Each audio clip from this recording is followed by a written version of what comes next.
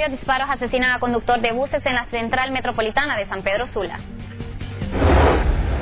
En el estacionamiento de la gran central metropolitana de buses en San Pedro Sula, varios individuos llegaron para atacar a disparos a un motorista de la empresa Impala, que cubre la ruta San Pedro Sula-Puerto Cortés. El infortunado responde al nombre de Luis Alberto Rubí MacLiver, de 37 años. Según algunos testigos, el conductor se encontraba descansando al interior de la unidad de transporte cuando dos sujetos le dispararon en repetidas ocasiones y luego huyeron con rumbo desconocido.